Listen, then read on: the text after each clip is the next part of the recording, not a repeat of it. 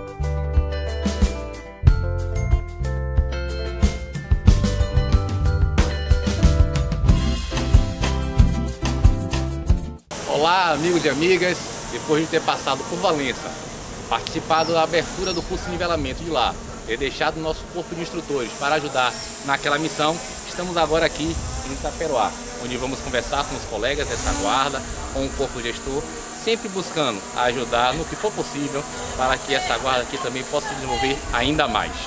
Venha conosco!